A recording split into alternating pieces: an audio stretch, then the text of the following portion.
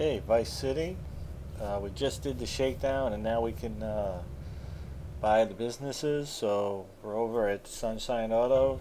It's always the, the first business I buy. There's not like any uh,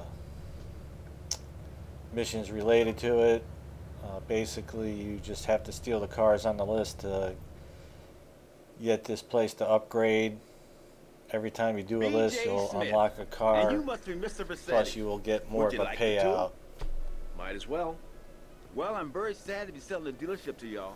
This is my first investment after I turned pro. But now, it's time for me to move on. You're leaving town. Not in too much of a hurry, I hope. No, I'm just coming out of retirement and preparing for my future comeback.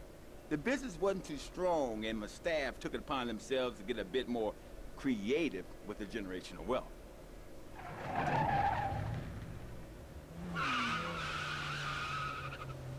Obviously, I could wind down the business before handing it over.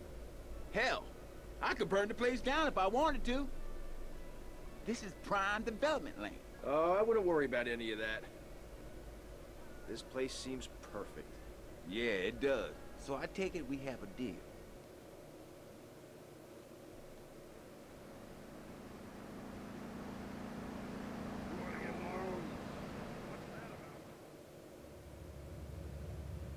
You did what? Forget about it.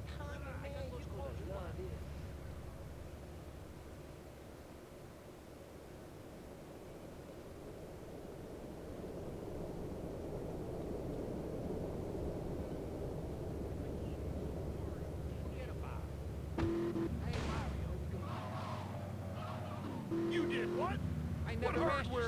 Okay, this place is pretty sweet. It's got, uh, what was it, four big garages down here. Uh, they could fit two or three vehicles in one. Uh, definitely two, so.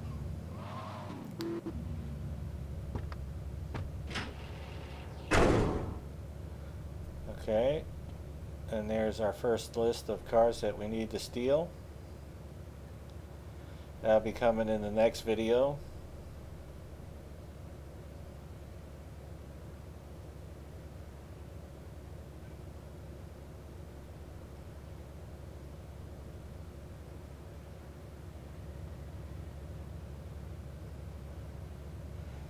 Okay, so we'll see you on the list of vehicles that we're going to be stealing.